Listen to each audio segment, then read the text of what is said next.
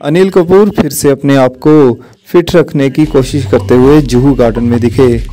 आपको बता दें कि अनिल कपूर को फिटनेस से दूर रख पाना मुश्किल ही नहीं, नामुमकिन है।